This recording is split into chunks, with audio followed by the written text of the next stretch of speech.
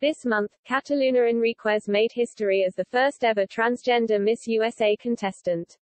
But after being eliminated very early in the competition, Enriquez is saying that the pageant is still not ready for transgenders. In a Wednesday interview with Yahoo Life, Enriquez, who entered the national pageant after winning her title of Miss Nevada, lamented being eliminated before the final 16 were even chosen during Monday's Miss USA pageant.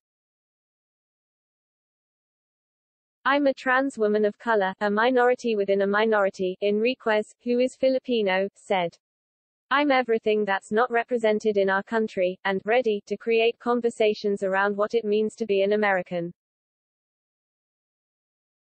It was an honor just to be able to represent my community and be an example for young queer children who now know they don't need to be limited by society's standards, Enriquez said. Still, the 28-year-old Enriquez claimed to be shocked and disappointed at not advancing farther in the contest. I worked so hard for it, the Nevada resident said. I think they were just not ready.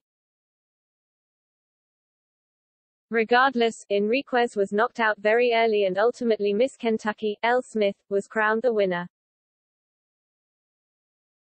Enriquez went on to claim that she was ready to face conflicts for being in the pageant.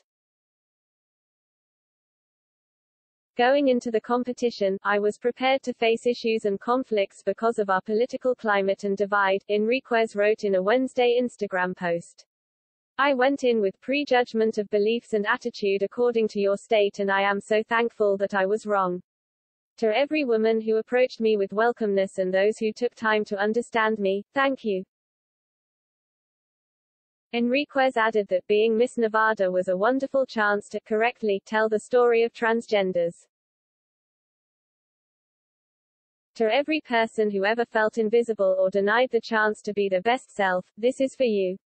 I am a living breathing example of what was impossible. Do not let expectations and socio-standards stop you from living your truth and chasing your dreams, the state pageant winner insisted.